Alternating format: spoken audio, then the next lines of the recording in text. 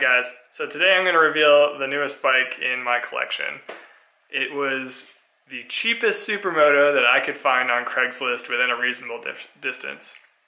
Um, it's not pretty, it's not super functional, and it's a little old, but I think it'll make a great race bike.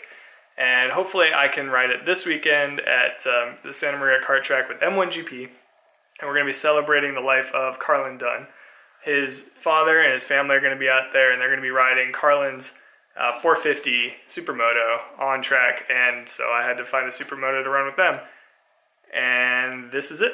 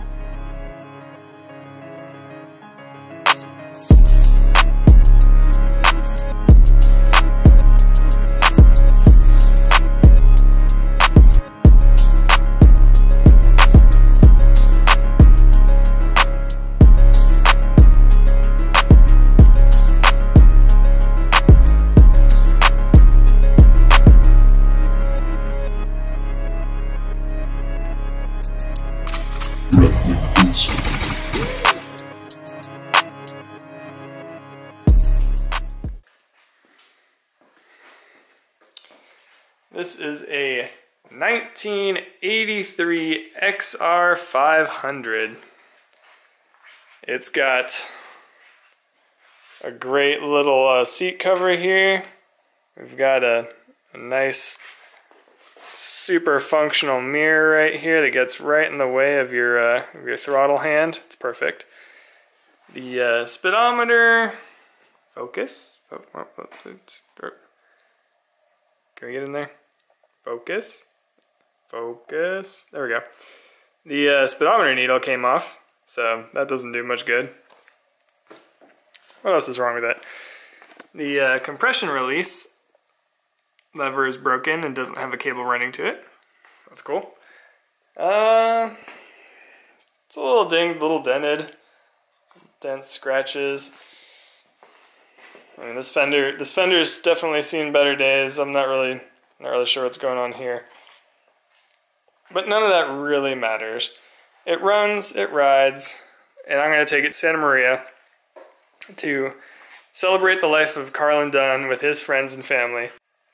So my current plan is to tear the bike apart a little bit, get down and dirty with it, get familiar with it, make sure it's pretty much safe, do all the um, safety wiring for the nuts and bolts, uh, put a catch can on it, and get it ready for racing. Also gotta get some numbers for it.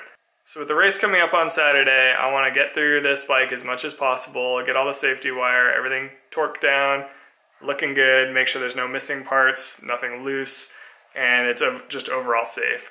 The only thing about it that sketches me out a little bit is the front brake is a little squishy, so I'm going to try bleeding that out, try and get rid of any play, any slop in that. It's a big heavy bike, and I don't want to go into a corner and just have no brakes. So, next episode, we're going to be tearing into this thing, fixing all the problems, getting it race ready, and then We'll go racing on Saturday. Alright guys, you know I couldn't leave you without starting this thing up. First of all, let's take a moment and recognize how big this bike is. I'm six foot three and I can I look like a tiny little person on this thing.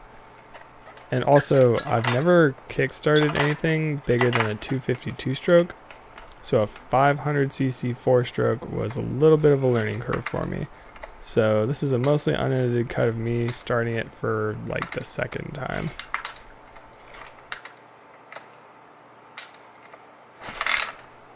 I had a bunch of fear because I'd read all of these little stories on forums about people like weighing their legs with the Kickstarters when it kicks back at them. And I was especially concerned because the decompression release was removed from this bike, or well, it was broken. So I was kicking this thing and I was trying to get it right below top dead center, which is why you see me pedaling the Kickstarter so much. I was really trying to make sure that it was in the right position before I even attempted to kick it. Because it did kick back on me once and it almost launched me off the bike. I was a little worried that the auto decompressor being broken was leaving it in a position where it was hard to start, so this was me fiddling with it to try and feel if it was changing the, the feel of the Kickstarter.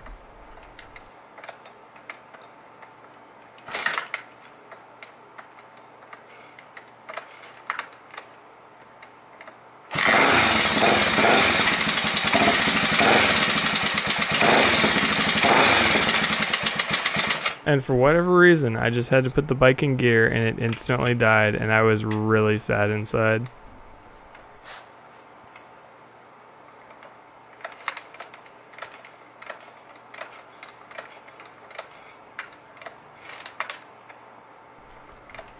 I want to say this goes on for another five minutes or so of me kicking the bike before I finally get it started again.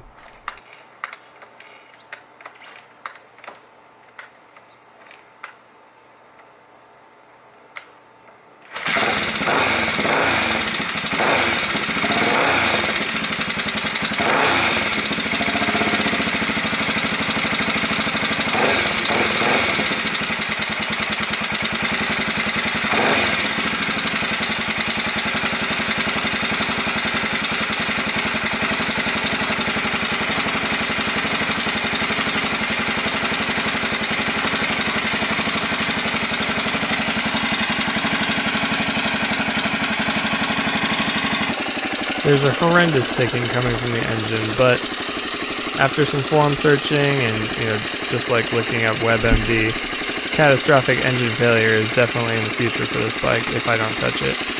Or it could just be like a loose cam chain tensioner.